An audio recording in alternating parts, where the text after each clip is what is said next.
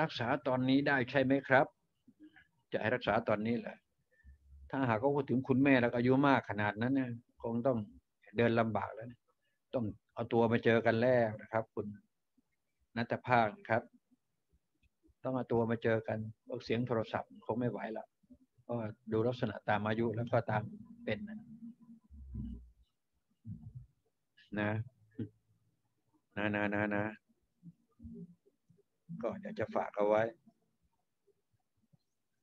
ติดต่อเข้ามาอย่างบริการให้ได้อยู่หรอกไม่มีปัญหาหรอก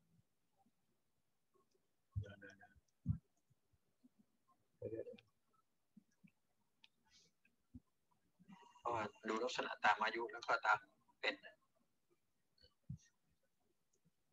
ะนะนะนะนะ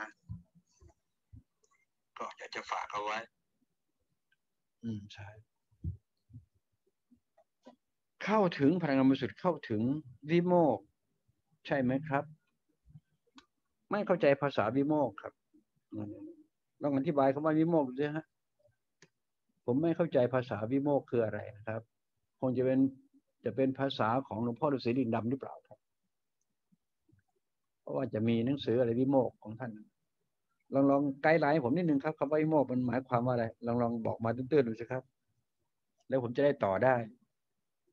นะคุณมายจีนะฮะนั่นมันจะได้เชื่อมต่อกันได้ เรื่องภาษาเนี่ย อย่าลืมนะผมมีมาผมได้มา ผมไม่ได้ไปเรียนมาจากใครนะครับ บอกให้ทราบไปครับ ผมไม่ได้ตำราเล่มไหนมาใช้นะครับ แล้วผมก็ไม่ได้ตามครูบาอาจารย์คนไหนนะครับใช่ไหมแล้วผมก็ใช้คำว่า ผมมีสิทธิโดยชอบทำจะรู้เรื่องราวของตัวเอง ผมก็ใช้คำนี้มาตลอดนะครับ มีสิทธิโดยชอบทำจะรู้เรื่องราวของตัวผมผมเอง มีสิทธิโดยชอบทำจะรู้เรื่องราวของพ่อของผมแม่ของผมปู่ย่าตายายของผมอย่างนี้แต่พี่น้องไม่เกี่ยวนะที่ว่า ลูกเมียก็ไม่เกี่ยวด้วย เห็นไหมลูกสาวแม่ยาย หลานแม่ยายของลุงก็ไม่เกี่ยว รู้แต่ของลุงกับพ่อแม่ปู่ย่าตายายของลุงเผ่าพันธุ์ที่มันยืดโยงมาตั้งแต่ เริ่มเกิดนู่นภาษาลุงบอกว่า ลุงเกิดพร้อมกับพ่อแม่ของลุง เกิดพร้อมกับปู่ย่าตายายของลุง เกิดพร้อมๆกับพ่อแม่ของปู่ย่าตายายพ่อแม่ไปเรื่อยเลยครับ เกิดเกิดพร้อมกันเกิดเอง เกิดพร้อมกับโลกใบนี้ด้วยนั่นแหละภาษาลุงได้ไม่เปลี่ยนคำพูดเลยนะที่ว่าพระอัลเลาะห์คือสมเด็จองค์ปฐมใช่ไหมครับ โอ้ อย่างนี้ไม่สามารถอธิบายได้นี่อย่างนี้ต้องบอกว่าไม่รู้เลยครับ ใช่ไหมครับ ต้องบอกว่าไม่รู้ครับ คุณเดียนะฮะยอมคำถามนี้แล้วจะ ถ้าจะบอกว่าพระอัลลาะห์คืออะไร ลุงก็บอกว่าคือสิ่งที่บริสุทธิ์ หรือ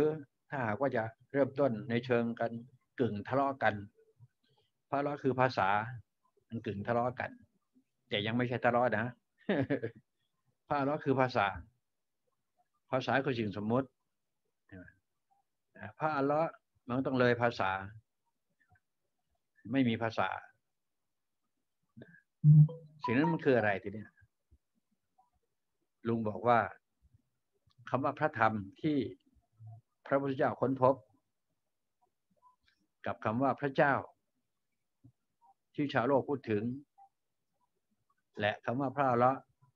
ที่ชาวโลกพูดถึงเช่นเดียวกันสามสิ่งนี้คือสิ่งเดียวกันนะครับแต่สำหรับลุงถอยมาหนึ่งเก้าลุงบอกว่าสำหรับของลุงนะ คือพลังงานที่บริสุทธิ์สำหรับลุงคือตรงนี้เองนะครับ พอเข้าใจได้ไหมครับอย่าไปอ้างใส่เข้าไปยังสมเด็จองค์ปฐมอย่างนั้นลุงก็ไปแทรกทีนี้ครับ เพราะไม่ใช่ภาษาของลุงภาษาลุงลุงก็บอกภาษาลุงเป็นอย่างนี้นะ ใช่ไหมครับจะภาษาไหนมาใช้เอาภาษาคนอื่นมาใช้ก็ไม่ว่าอะไรกัน เอาภาษาของลุงมาใช้ลุงก็ อธิบายผ่านวิทยาศาสตร์ไปอย่างเงี้ยเพราะพลังงานเป็นเรื่องราวของวิทยาศาสตร์นะพลังงานพลังงานเนี่ย จริง ๆ มันก็คือพลังงานจิตก็ได้นะพูดกับมาหลายร้อยรุ่นคนแล้วพลังงานจิตพลังงานจิต มันก็ไม่สามารถที่จะชี้ชัดได้ค่อนข้างจะลงตัว มาถึงวันนี้สำหรับลุงแล้วก็อธิบายผ่านวิทยาศาสตร์ล้วนๆเลย พลังงานแสงเนี่ย พลังงานบริสุทธิ์ซ่อนอยู่ในแสง ยังไม่พอพลังงานบริสุทธิ์ซ่อนอยู่ในโฟตอนของแสงเนี่ยยังละเอียดยิบอีกทีหนึ่งดูสินี่คือภาษาลุง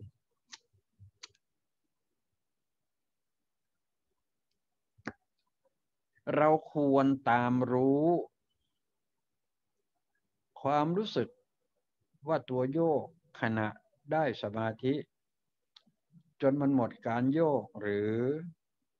แค่ไหนคะ เพราะทุกวันนี้มันคอย